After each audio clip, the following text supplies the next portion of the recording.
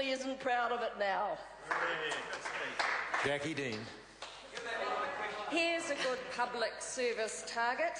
How about reducing the reoffending rate by 25% by 2017? What do you think about that?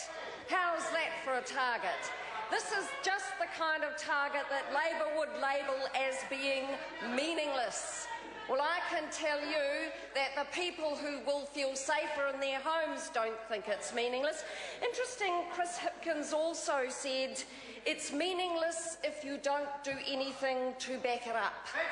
So, and Chris Hipkins, I absolutely agree with him. It is meaningless if you do nothing to back it up. Well, here's the good news because in the national government we are doing a lot to back up the excellent target of reducing the number of prisoners by 600 600 less prisoners by 2017 and 18,500 fewer victims of crime each year between, by 2017. How are we going to do that? How is the national government going to do that? To reduce reoffending in our prisons? Well, I went to Rimutaka Prison last week and I spent time with a young prisoner in a workshop. And let me tell you about that young prisoner. He was a young man, he looked like he was in his early 20s, and he was, well, Mr. Hipkins knows a lot. Mr. Hipkins thinks it's meaningless, but I disagree actually, because I spoke to this young prisoner in Rimutaka prison who was doing an NZQF qualification inside Rimutaka prison. Do you know what he was doing? He was doing an NZQF course in bricklaying. He was building uh, letterboxes, just like they build in Christchurch, and he was really proud of his work. I talked to him. He was enjoying the work. He was treated just like a trainee for the purposes of this course, not like a prisoner. He was enjoying having to be there at 8 o'clock in the morning until 4 o'clock in the afternoon. He enjoyed learning a trade. And do you know what he was really looking forward to, this prisoner? This prisoner was really looking forward to doing the next course because the next course was even more challenging for him. He was looking forward to doing the next course in sheet metal work.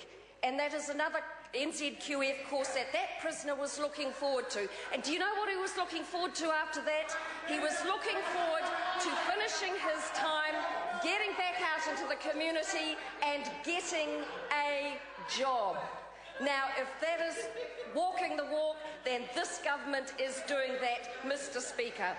We know very well why, why there is such a high reoffending rate, rate in our prisons, and that is because prisoners have got issues with literacy, prisoners have got issues with numeracy, there is drug and alcohol dependence. This is well known as a factor for reoffending, so this government is doing something about it. Not only are we setting excellent targets to keep our communities safer, but we are doing something about it.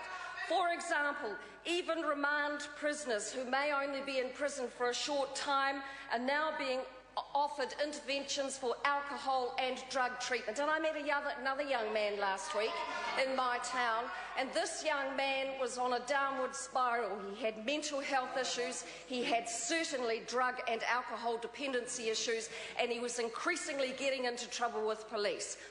We know where that young man may end up because the likelihood is there that he may end up uh, in Milton Prison on remand. Well, there in Milton Prison, that young man on remand is going to be offered drug and alcohol interventions. That young man on remand in Milton Prison is going to be offered courses in literacy. This is a government which is committed to re re readdressing the drivers of crime and reducing reoffending by 25% by 27.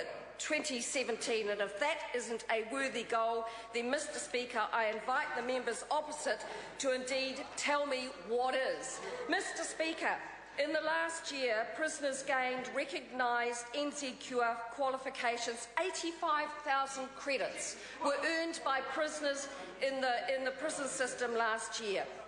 Level 2 certificates, fantastic. If you've got a level two certificate in a trade, then you're more likely to get a job.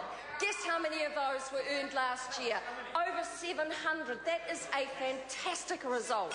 What a wonderful opportunity to reduce reoffending The in New Zealand. Order the Right Honourable Winston Peters. My, how zealous they are when they don't know what's going